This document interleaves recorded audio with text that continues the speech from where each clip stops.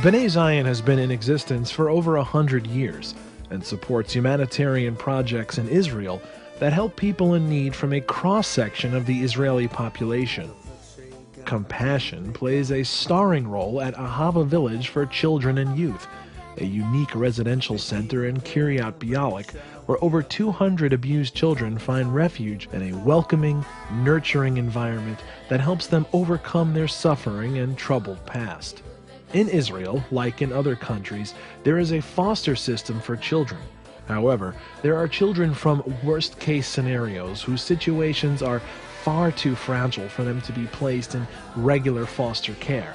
And these are the children who live at Ahava.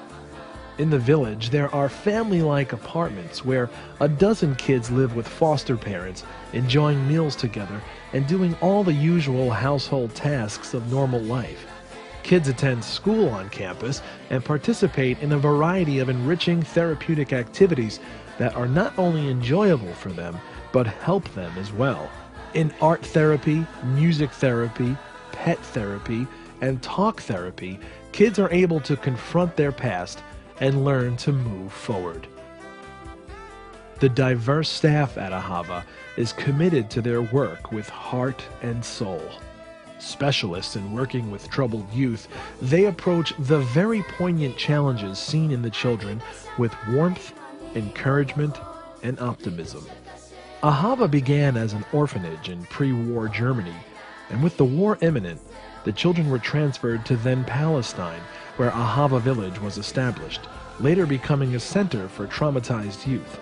Many of the buildings date to these early years. The government of Israel has cut back on its budget for many social service institutions, including Ahava. The refurbishment and renovation of existing facilities, as well as expansion, must be financed by private funds.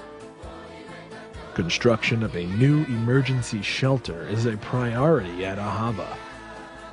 Children removed from a dangerous environment who are brought to the village meet with staff in a small, outdated emergency facility for assessment prior to placement with one of the families. A new emergency shelter is necessary because of an increase in the number of children being removed from these situations. A new building was designed and its foundation was laid, but because of a lack of funds, construction came to a halt. Helping children heal so they can live happy, productive lives begins with the work done in the emergency shelter, and funds are eagerly sought to finish the construction and furnish the new shelter. The cost of this project is $2 million. Thanks to your support, its completion will allow Ahava to welcome more children and begin the urgent work for these kids to have a meaningful future and become productive members of Israeli society.